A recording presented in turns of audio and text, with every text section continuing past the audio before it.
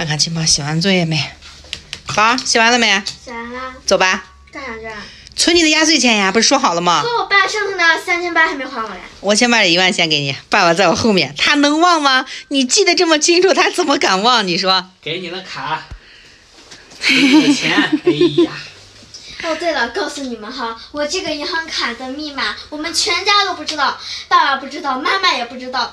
那你们肯定会有这样的疑问，就是我们存存，我们密码不知道，钱存进去了，怎么取出来呢？对呀，嗯、那我们先去存钱，等回来了再跟告诉你们答案吧。行，带着这个疑问我们去存钱，好吧？嗯，走了穿衣服啊，走，穿衣服了。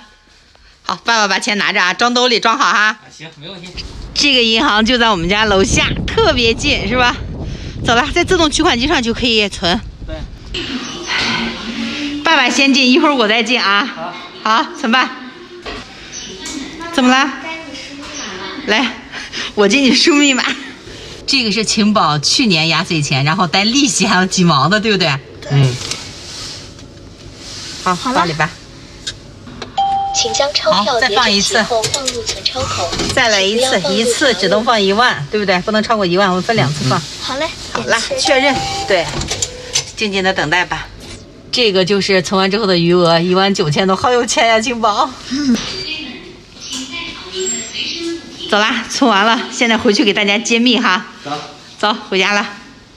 欢迎来到侦探情宝的解密时间。好了吧，赶紧告诉大家，乖。给大家说一下我的银行银行卡的密码到底是咋回事儿哈？对，哎，我的银行卡的密码，爸爸不知道，妈妈也不知道，但是不是完全不知道。那这银行卡的六位密码又又是怎么分配的呢？首先就是妈妈妈掌管前三位，爸爸掌管后后三三位，然后呢，爸爸想取里面的钱，他前三位不知道；妈妈想取里面的钱，他后三位不知道。对，我们都是为了以防万一要用钱的时候把金宝的钱给取了，所以才用了这个方法，对不对？对，等我上大学需要用到钱的时候再取出来，还有我弟的那个教育基金。对，弟弟用到钱的时候也可以取，其他的一概不能取。这卡就是专门用于你俩学习用的，知道吧？其他是不能作为其他用途的。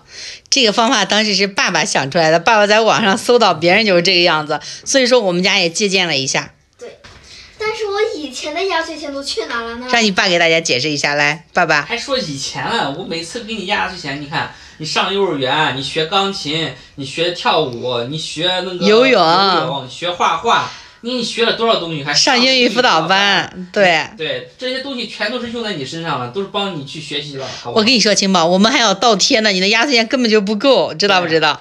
现在来给我们算账来了你，真是哎呀，我不算账了。你现在知道你占便宜了，我们吃亏了，所以他不给我们算了。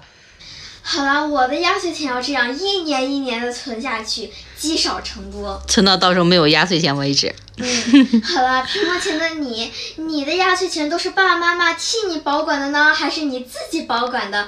记得在评论区告诉我哦。那今天就这样吧，拜拜。